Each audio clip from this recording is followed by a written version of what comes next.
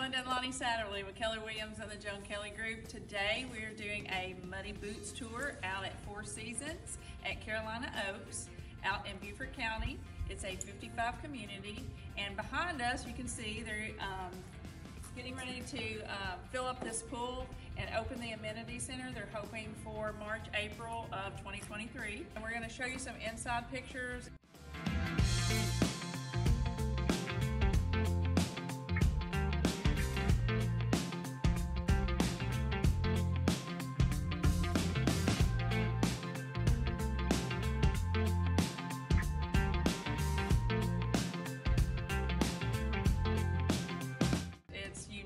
Has a lot of brick and shiplap and just a really pretty open spaces. So if you live in this community, you have a lot of options on what you can do with your time. There is a lifestyle director here as well, so she's got things started.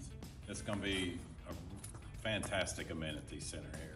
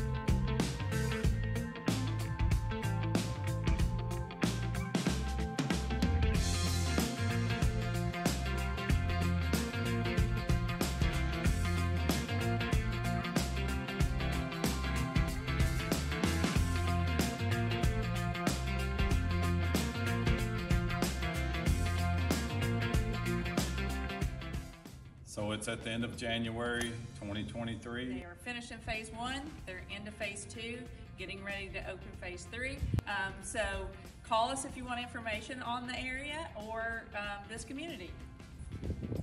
See ya.